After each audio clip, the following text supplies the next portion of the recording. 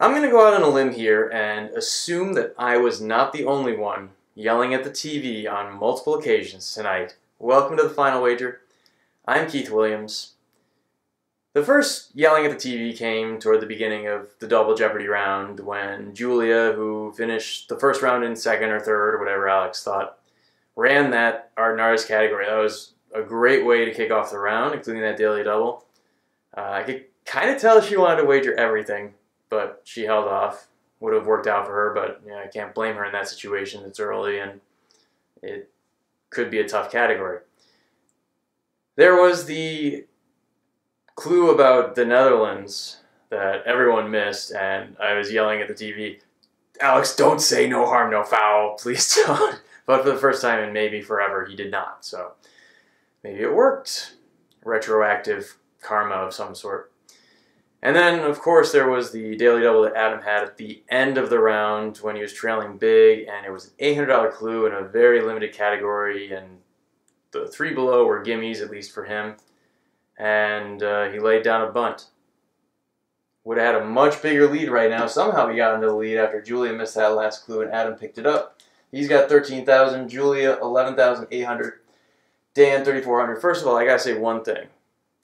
I know there is at least one real perv on the Jeopardy writing staff, but one of those categories tonight was pretty over the line. If you know what I'm talking about, you know what I'm talking about. If you don't know what I'm talking about, don't worry about it. But one of those categories, man, I know what you're going for there. Okay. Julia doubles up. That's going to be 23-6. So uh, Adam's going to need 10-6 to cover. So if he is wrong with that, he's going to be left with 2,400, which is nice for Dan, uh, Dom, sorry, because he can uh, wager up to 1,000 and stay above Adam. And, uh, you know, I'm not even going to worry about the big wager for Julia here just because those of you who've been watching for a while will recognize this is a strategic situation because Julia can cover Adam and keep Dom locked out pretty easily here. Uh, oh yeah, Dom doubles up, he's got 6,800, so Julia, to keep him locked out, can wager up to 5,000.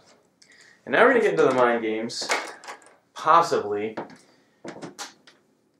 Is Julia a savvy wagerer?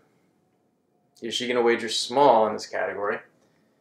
Is Adam willing to put the game on the line if he gets it right and Julia bets big and she passes him. If uh, Julia gets this 5,000, it'll be 16-8, so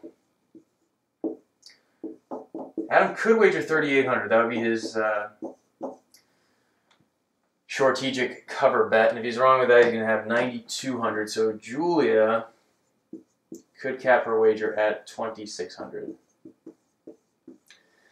And I guess they could go back and forth with this, but I wouldn't worry about it too much here. Technically, Julia could also wager down to Dom's level, but I would keep it pretty simple. If Dom goes for this 1,000, you'd be at 4,400. Probably not worth the risk there. Maybe she thinks Adam is going to do something along the lines of a shortage, as it is called. Now we've got the zero cover wagers. So we'll see that Julie and Adam are separated by 1,200. And Julia might want to cover a bigger wager, or an unsafe wager out of Adam if he goes for this, you know, 1,200 just to keep her locked out, or to force her to get it right to have a shot. Uh, 2,400 would do that. So we got those ranges there. Uh, don't see anything else that anyone else can do.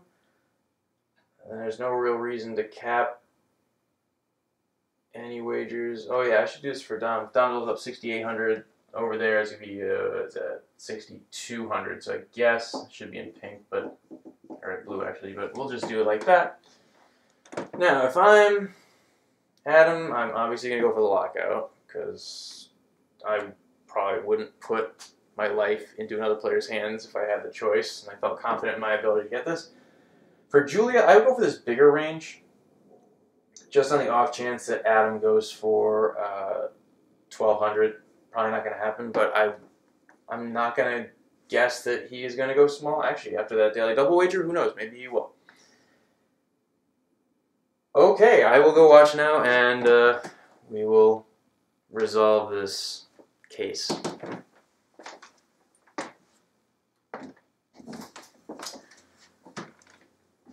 Well, those were some wagers I was not expecting. I was hoping Adam would go big, 10,601, he did. But uh, Dom and Julia weren't really helping their cause with those big wagers. Yeah, I guess Julia does maximize her potential winnings if, Dom, uh, if Adam misses, but if Julia misses, she's completely out. And the only way that she wins is if she gets it right and Adam gets it wrong. But a smaller wager, she doubles her chances of winning because if they both miss, then she'll win. And Dom had to get it right to have a shot, whereas a thousand would have kept him in play. But you know, it's all rendered moot. Coincidental that this was a baseball clue after I mentioned bunting, and I think I'm going to start writing my answers up here for better or for worse. And uh, since I keep the camera running to make the editing a little bit smoother, on some of the more interesting ones, maybe I'll make a video out of my thought process. But this one was pretty straightforward, as I think it was for all three of them. And uh, Adam has two wins now and 42s all over the place. Well, zero stuck in there somewhere. But congratulations. Uh, tomorrow's another day. We'll see how the daily doubles treat everyone and how, well, the players treat the daily doubles. And, uh,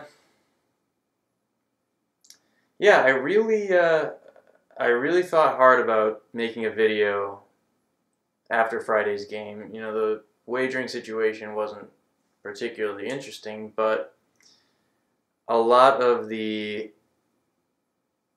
just vile stuff that was being posted about Ava on the internet, what does it matter, guys? Who, who cares? And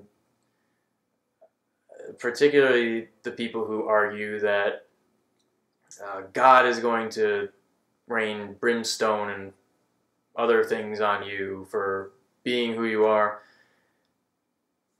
I'm sure if you know the Bible, that all happens after you die. And if it's going to happen to her, or if it's going to happen to me, or if it's going to happen to you or someone else, it doesn't affect you at all. Unless it's you, of course. But let other people live their lives. And, uh, you know, cheers to Ava for getting on television and playing a great game.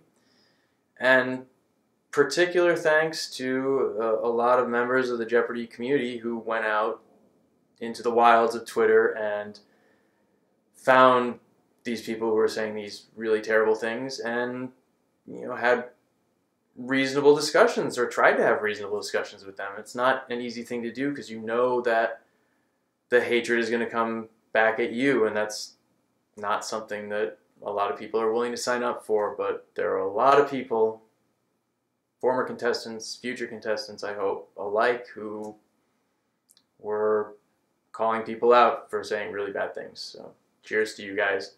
And uh, yeah, we'll see you all tomorrow right here on the final wager.